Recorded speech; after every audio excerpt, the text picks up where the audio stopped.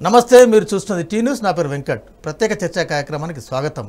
ఇవాళ భారతదేశ వ్యాప్తంగానే కాదు ప్రపంచవ్యాప్తంగా వ్యవసాయ భూములకు ముఖ్యంగా అన్ని రకాల భూములకు చాలా విలువ ఉంది. భారతదేశం పూర్తిగా వ్యవసాయక ఆధారిక దేశం.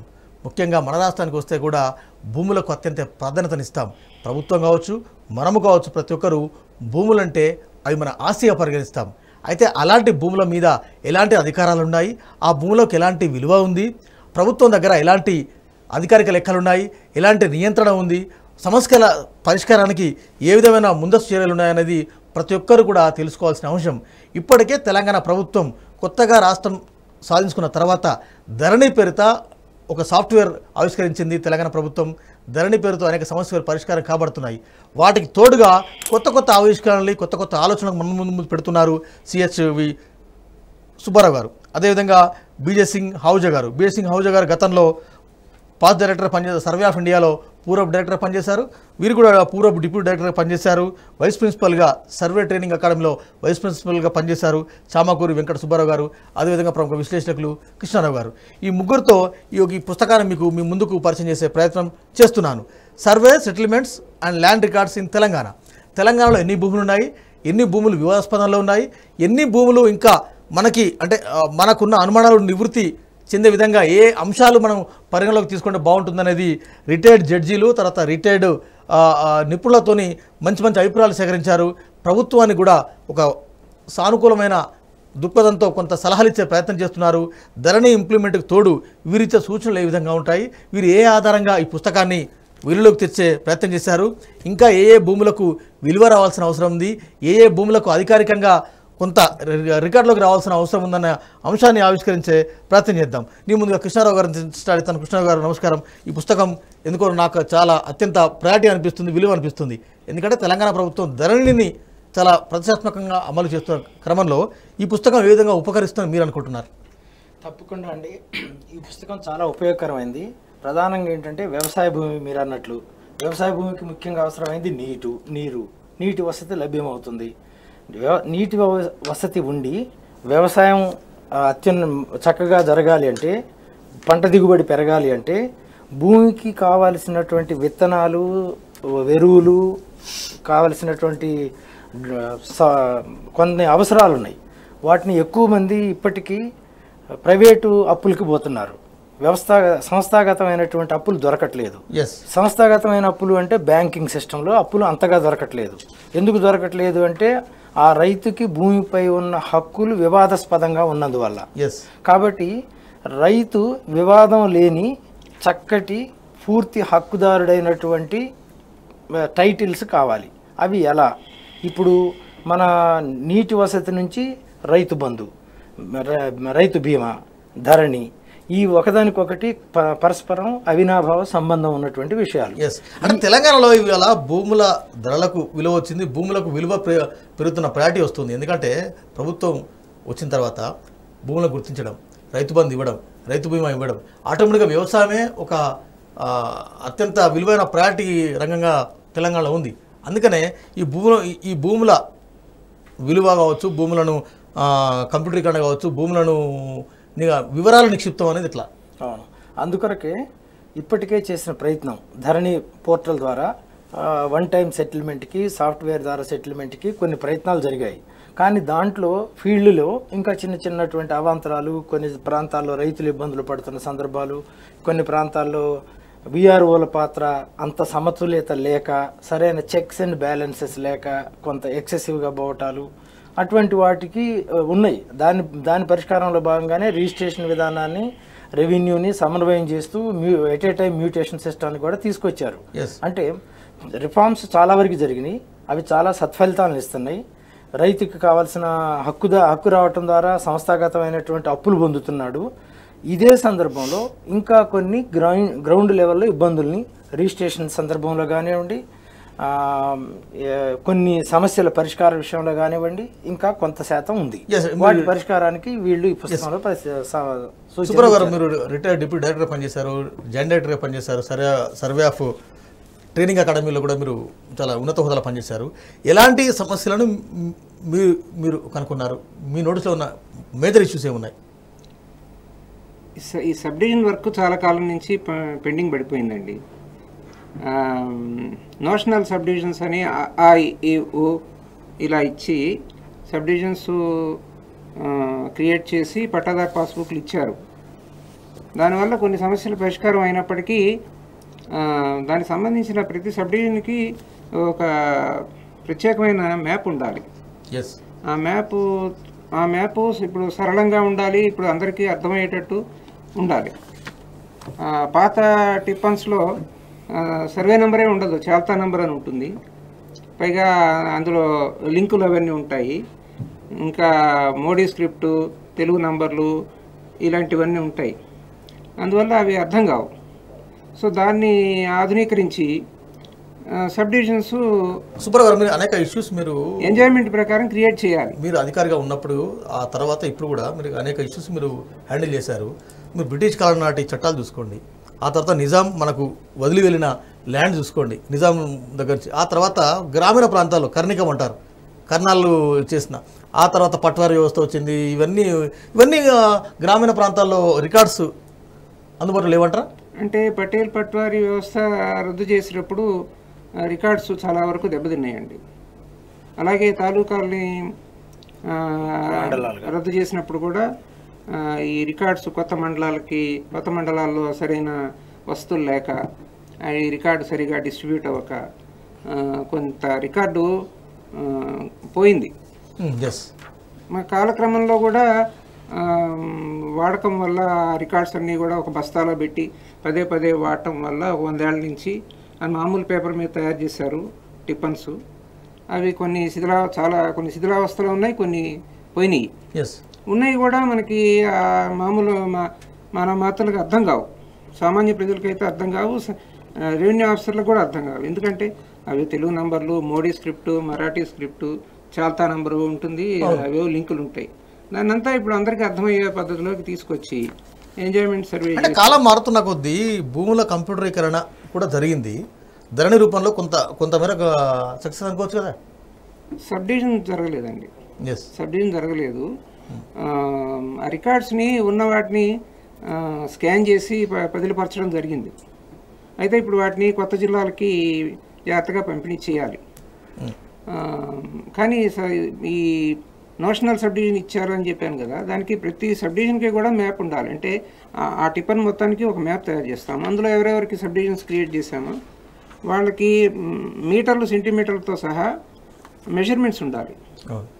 ఇంకా అందరికీ ఆధునిక టెక్నాలజీ ప్రకారం పనికి రావాలి అంటే లాటిట్యూడ్ లాంగిట్యూడ్ కూడా ఉండాలి. అంటే తెలుగులోనో ఇంగ్లీష్లోనో ఇన్ని మీటర్లు ఇన్ని సెంటీమీటర్లు ఇంత విస్తీర్ణం ఇన్ని ఎకరాలు ఇన్ని హెక్టేర్లు.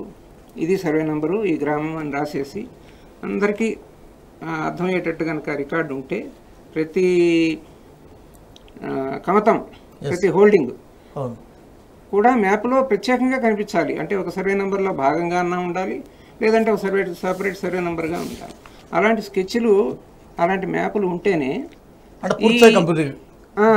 పూర్తయి పూర్తయినట్టు. సంపూర్ణ సంపూర్ణ కంప్యూటర్ కానీ ఇప్పుడు ధరని ఫర్ ఎగ్జాంపుల్ ఒక ఎక్స్ అనే పేరు కొడితే ఆ విలేజ్లోకి వెళ్ళి ఒక- సర్వే కొడితే ఆ సర్వే వచ్చేస్తుంది. ధరణిలో చాలా ట్రాన్స్పరెన్సీ ఉంది కదా ఇంకా కొత్త కొత్తగా ఏం చెప్పాలి దాంతోపాటు మ్యాప్ కూడా కావాలి. ఎస్ అంటే ఇప్పుడు పలానా సర్వే నెంబరు పలానా సబ్ డివిజను ఈయన ఓనరు ఇంత విస్తీర్ణం. దాంతోపాటు అది ఎక్కడ దానికి ఈ- దాని షేప్ ఏంటి దాని హద్దులు ఏంటి దాని వి- ఆ, మ- కొలతలు ఏంటి అక్షాంశ రేఖాంశాలు ఏంటి విస్తీర్ణం ఏంటి అందరికీ ఆ సరళంగా అంద అర్థమయ్యేటట్టు ఉండాలి ఎస్ మీరే చెప్తారండి ధరణికి సజెస్టివ్గా మీరు ఏం చెప్తారు या sorry I can't speak in Telugu yes yes please लेकिन अ, मैं आपको हिस्ट्री बताता हूँ छोटे से टाइम में okay it's okay yes yes हाँ క్యారియన్ कि जब ये ईस्ट इंडिया कंपनी भारत में आई तो उनका पहला इंटरेस्ट था कि हमारे पास कितनी ज़मीन है तो उन्होंने बंगाल से ज़मीन लेनी शुरू कर दी। और 1767 में उन्होंने कहा कि अब हमारे पास काफ़ी ज़मीन हो गई है तो हम इसका नक्शा बनाएँगे कि कौन सी ज़मीन हमारे पास है। तो इस तरीके से ये सब चलता रहा और 1905 तक वो पूरा ज़मीन का हिसाब किताब अपने पास रखते रहे। 1905 के बाद उन्होंने प्रोविंशियल गवर्नमेंट को, जैसे मद्रास प्रेसिडेंसी है, बॉम्बे प्रेसिडेंट उनको हैंड ओवर कर दिया। उसके बाद थोड़ा सा वो ढीला पड़ गया। और जो नक्शा था, उसका पता ही नहीं चला कि उसमें कितने विभाग हुए। कभी एक दादा ने अपने चार पोतों को दिया, पोतों ने फर्दर दिया तो वो जो डिवीज़न था, वो नहीं आना बंद हो गया। इसलिए लैंड रिकॉर्ड्स की हालत ख़राब हो गई। तो अभी गवर्नमेंट ऑफ़ इंडिया ने बहुत कोशिश की कि हम इसको मॉडर्नाइज करें। तो मॉडर्नाइजेशन 2008 में स्टार्ट हुआ it was to be completed in 2018 पर अभी ज़मीन के इतने झगड़े हैं कि किसी को ये मालूम ही नहीं है कि किस चीज़ ज़मीन कौन सी है और उसके लेटीट्यूड लॉन्गिट्यूड जैसे कि इन्होंने बताया क्या है तो वो अभी तक प्रॉब्लम चल रही है। तो उसके लिए उन्होंने तीन चार मेथड बताए थे कि एरियल फोटोग्राफी लें सेटेलाइट इमेजरी लें या ग्राउंड सर्वे करें।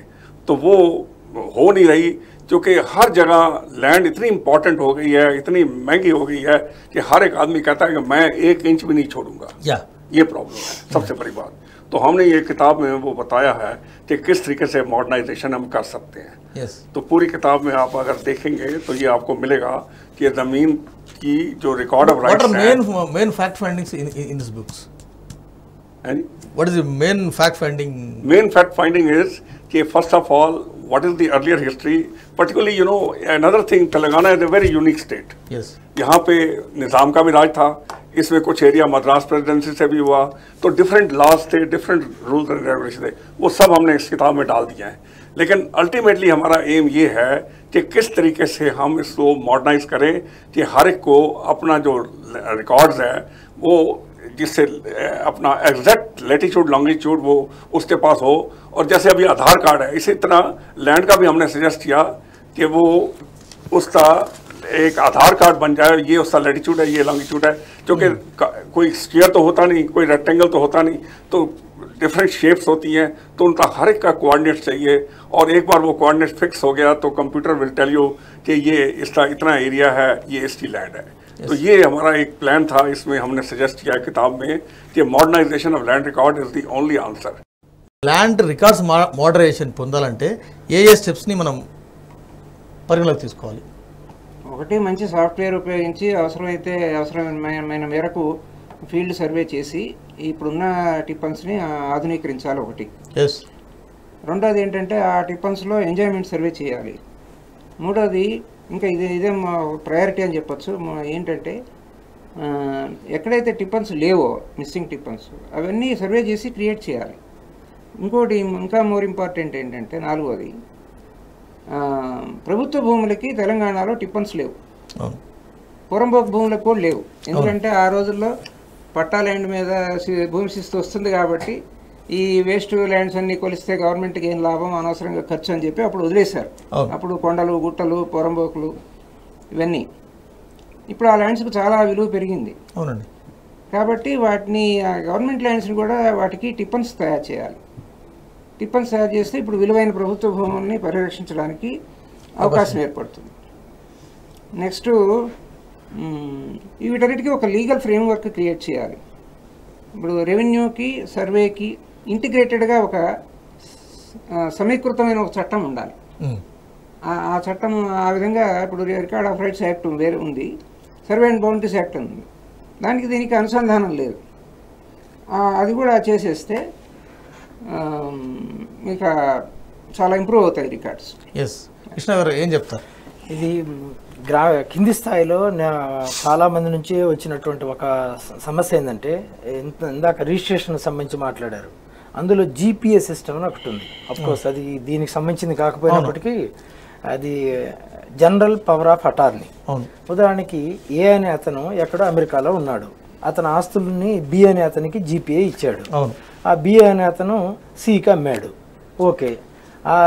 ఒక్కొక్కసారి ఏమవుతుందంటే ఏ అకాల మరణం చెందాడు. ఆ చెందిన తర్వాత ఆయన చేసినటువంటి రిజిస్ట్రేషన్ చెల్లదు. జీపీఏ చెల్లదు. అప్పుడు ఏమవుతుందంటే ఏ వారసులు తాము హక్కుదారులు అవుతున్నారు.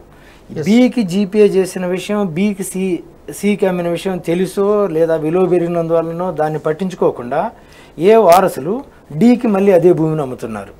అంటే ఒకే భూమిని ఏ జీపీఏ హోల్డర్ ద్వారా బీకి ఇస్తే బి సికి అమ్ముతుంటే ఏ వారసులు డీకి అమ్ముతుంటే ఒకే భూమి మీద బీకి సికి డీకి ఇద్దరికి రిజిస్ట్రేషన్ అవుతుంది. ఎస్ ఇది ప్రాక్టికల్గా ఉన్న సమస్య. ఈ సజెషన్స్ పరిగణలోకి తీసుకుంటే బాగుంటుంది. ధరని ఇంకా పకడ్బందీగా ఇంప్లిమెంట్ అయ్యే అవకాశం ఉంది అన్న తరహాలో మీరు ఏం చెప్తారు?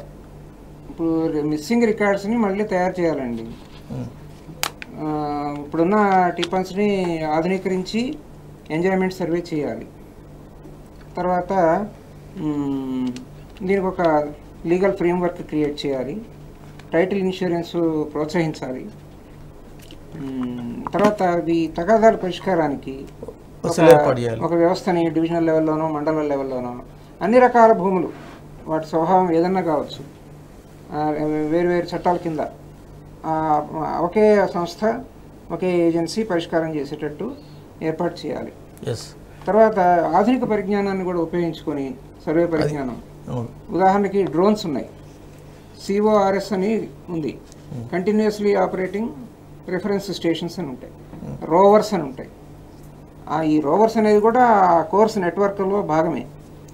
ఇవి అధునాతనమైనటువంటి క- కంప్యూటర్ పరిజ్ఞానం సాఫ్ట్వేర్ పరిజ్ఞానం ఉంది. వీటినన్నిటినీ మనం ఉపయోగించుకొని మీరు అన్నట్టు ల్యాండ్ ఇన్ఫర్మేషన్ సిస్టమ్ కూడా క్రియేట్ చేయొచ్చు. దానివల్ల అనేక రకాల ప్రయోజనాలు ప్రభుత్వానికి ప్రజలకు ఉంటాయి. నేనేం చెప్తానంటే ఇప్పటికే కొన్ని రాజకీయ పార్టీలు ఆ రాజకీయ పార్టీల సభ్యత్వం ఇస్తే సభ్య సభ్యుడికి బీమా ఇస్తున్నాయి. సభ్యుడు అయితే బీమాని వెంటనే ఇంటికి చేరుస్తున్నాయి. అట్నే పంటల బీమాని ఎస్ఎస్ చేయడం కష్టమైనా సరే పంటల బీమాని దేశంలో రైతులకు పంట బీమా. ఆ, కాదు రైతు బంధు తర్వాత ప- పంట బీమా. బీమా రైతు బీమా. రైతు బీమా. పంట బీమా రైతు బీమా. మీకు ఒక హాఫ్ ఎకర్ గుంట జాగున చాలు ఐదు లక్షల రూపాయలు అది. వచ్చేస్తాయి. అంటే? మన గవర్నమెంట్ తెలంగాణ గవర్నమెంట్. అంటే ఈ ఇప్పుడు దీంట్లో అసలు ప్రభుత్వం ప్రత్యేకంగా ఖర్చు చేయకుండా ఇది చాలా లిమిటెడ్ ఉంటుంది. చాలా బహుశా నేను అనుకోవటం సంవత్సరానికి ఒక యాభై రూపాయలు వంద రూపాయలు అట్లాంటి మినిమం ప్రీమియం తోటి ఎందుకంటే పంటల బీమా అంటే సెంట్రల్ గవర్నమెంట్ స్కీము తర్వాత ఇదంతా వాళ్ళు ఎట్లా కేంద్రం ఒప్పుకోదు రకరకాల ఇష్యూస్ ఉన్నాయి. అయితే ఇది మన స్టేట్ స్టేట్ సబ్జెక్టు ఇది మన ఇప్పుడు ఈ ల్యాండ్ ఇది చేసేటువంటిది స్టేట్ సబ్జెక్ట్ అవుతుంది. కాబట్టి స్టేట్కి ఫ్రీడమ్ ఉంది. కేంద్రం మీద ఆధారపడకుండా ఈ పంట బీమా లాగా కాకుండా ఇన్సూరెన్స్ ఇది టైటిల్ బీమా ఎస్ టైటిల్ బీమా అనేది కొత్త కాన్సెప్ట్ సుబ్రహ్మ అంటే మీ పరిశీలనలో ఇవాళ దేశంలో ఎక్కడ లేని విధంగా తెలంగాణ ప్రభుత్వం రైతు బంధు అమలు చేస్తుంది. ఇవాళ ఖాళీ ఇంత ప్లేస్ ఉన్నా చాలు రైతు బంధు వస్తుంది రైతు బీమా వస్తుంది ఇన్సూరెన్స్ మంచి కార్యక్రమాలండి. వాటికి తోడు ఇవన్నీ చేస్తే ఇంకా రైతులు ఇంకా బెనిఫిట్ అవుతారు. ఇప్పుడు ఏంటంటే ఈ టైటిల్ ఇన్సూరెన్స్ అనేది మనం ఒకసారే సింగిల్ ప్రీమియం అనమాట మన ల్యాండ్ కొనేటప్పుడే మనం ఈ ల్యాండ్ కొంటున్నామని కంపెనీ వాళ్ళకి మనం చెప్తాము.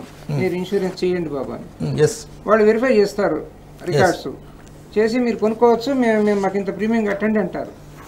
ఆ సిస్టమ్ కనుక పెట్టామంటే ఇంకా ఆ- భూమి వాల్యూ ఎస్ కోటి రూపాయలు ఉండొచ్చు.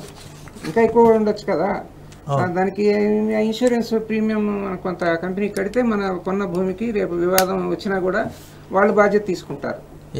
వాళ్ళు మనకి నష్టపరిహారం ఇస్తారు. మన ల్యాండ్కి భద్రత ఉంటుంది. అప్పుడు ల్యాండ్కి భద్రత ఉన్నప్పుడు ఏమవుతుందంటే దాని మార్కెటబిలిటీ పెరుగుతుంది దాని మీద లోన్ తెచ్చుకోవచ్చు. మనం ధైర్యంగా ఆ ల్యాండ్ మీద మనం ఇన్వెస్ట్ చేయొచ్చు. చేసి ఆ ల్యాండ్ని డెవలప్ చేయొచ్చు. ఇప్పుడు ఏదో మనం పెద్ద ఫ్యాక్టరీయో లేకపోతే పెద్ద రియల్ ఎస్టేట్ వెంచరో వేసిన తర్వాత ఎవరో వచ్చి అది నాది అంటే అది చాలా ఇబ్బంది కదా? అందుకని అలాంటి సమస్యలు లేకుండా ఈ ఇన్సూరెన్స్ అనేది ఒక రకమైన రక్షణ ప్రభుత్వం ఏం చేయాలంటే ఇప్పుడు ఈ ప్రతిపాదించిన మనం చర్చించిన విషయాలు అమల్లోకి రావాలంటే లెజిస్లేచర్స్ తోటి సబ్ కమిటీ కానీ బ్యూరోక్రాట్స్తో కానీ ఒక పూర్తి స్థాయి పనిచేసే యంత్రాంగం కావాలి. అది ఒక త్రీ మ్యాన్ కమిటీయా ఫైవ్ మ్యాన్ కమిటీయా లేకపోతే రెండు మూడు లేయర్స్లో ఉండే కమిటీయా ఇన్ఫర్మేషన్ గ్యాదరింగ్ ఒకటి అనలైజింగ్ ఒకటి రిఫైన్డ్ ఇన్ఫర్మేషన్ హైయర్ అథారిటీస్కి ఇచ్చేది ఒకటి. అటువంటి మెకానిజాన్ని ఆ యంత్రాంగాన్ని ఇమీడియట్గా ప్రభుత్వం చేపట్టడం వాట్ మంచిది. About sir what about what are last suggestions conclusions Last is that solution lies within ourselves. we have to find a solution. And the best solution is, as I said, aerial photography, announce, and once you have marked the boundary, then no dispute will be accepted.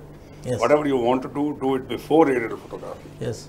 So actually, uh, I have already got uh, aerial photography from Holland, and we did, and that was accepted everywhere, because uh, camera cannot speak a lie. Yeah. So, boundary of आपकी है वो उसको x कर Yes, ये शुद्ध ప్రతి భూమికి ప్రతి చిన్న కమతానికి అత్యంత లక్షల్లో విలువ పెరుగుతున్న నేపథ్యంలో ఆ భూములను భద్రపరచుకోవాల్సిన అవసరం మన మీద ఉంది ప్రభుత్వం మీద ఉంది. ఇప్పటికే డిజిటలైజేషన్ రూపంలో ధరణి రూపంలో కొంత పారదర్శకత తీసుకొచ్చే ప్రయత్నం ప్రభుత్వం ఇప్పటికే చేసింది. ధరణికి తోడు నిపుణులు చెబుతున్న అభిప్రాయాలు ఈ పుస్తకం ద్వారా వస్తున్న సెషన్స్ కూడా ప్రభుత్వం పాటిస్తుందని ఆశిద్దాం.